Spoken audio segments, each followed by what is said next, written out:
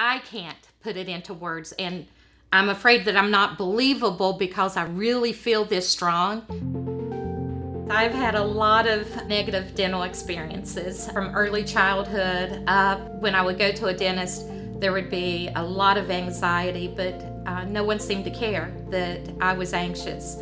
Uh, they just treated me like another number that they needed to hurry up and get to the next patient. My first impression of Carla was that she was a very sweet individual who had anxiety at one of the highest levels that I had ever seen in a patient.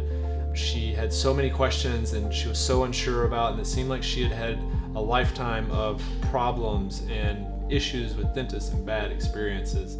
I had broken a tooth and um, needed to have it seen and uh, probably extracted. Knew it had to be extracted. Of course, as it got closer to the date, I did not want to come. so I came on into the practice anyway, and boy, am I glad I did. I've never been treated like family like I was here. So Carla came in here eh, with something just a simple broken tooth. And for us, it was routine procedures, something we do all of the time. We do it every day. But for Carla, it was something much more. It was a lifetime of problems, a lifetime of dental anxiety from bad experiences. He stopped and listened, and when he heard my anxiety, he stopped. And then before he gave me Novocaine or whatever that stuff was to numb me, he said, Are you ready to go? Are you okay with starting? Who does that?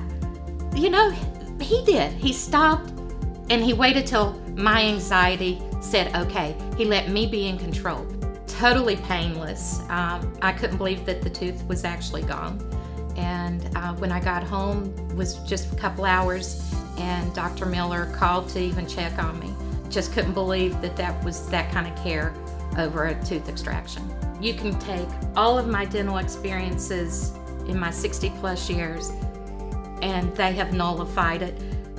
Am I still petrified to come in? Absolutely, but they walk me through it and get me through each time to where I'm okay to come back again. So after coming to Smile Solutions Dentistry, Carla has completely changed her outlook on dentistry. You know, we've been able to give her an experience that she's never had before in her life, and for us, it's normal, and we do it with everybody that comes in our practice. And so we're very thankful to have her here, and we're excited that she's now part of our family. Have had many dental experiences.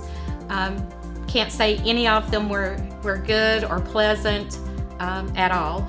Most of them didn't even look at you or talk to you or care about the anxiety that you're, you're feeling.